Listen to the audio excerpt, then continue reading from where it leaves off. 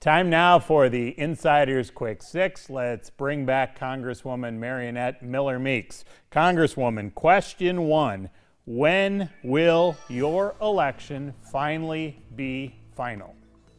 July. Okay, question two Will the Census Bureau end up turning over that, demo, that demographic information that the commission needs here for redistricting? Will that end up happening before the end of September? They have warned that it may take until the end of September. Do you think there's a way to get it sooner? Yes. Question three. There was that attack at the massage parlors in Atlanta. There have been assaults and verbal attacks at people of Asian descent ever since COVID 19 struck. What is something we can do as a community to stop that? We need to support uh, everyone within our Asian community. I've been stationed in Korea in the military, and I know this isn't a quick answer. We have Asian people among our caucuses as friends.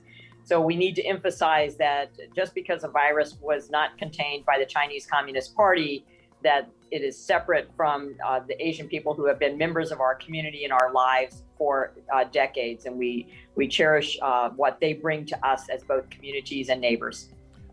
Question for most Iowa families are now getting those COVID 19 relief checks. Do you think there will be need for another one of these aid packages later this year? I think, given uh, the size of this uh, package, uh, but more importantly, uh, we our economy is already on the rebound. Our unemployment rate in Iowa is down. Um, we are growing, uh, and our nation is growing economically, but also more importantly, people are getting vaccinated or have already had COVID 19. And I think we're very rapidly reaching herd immunity.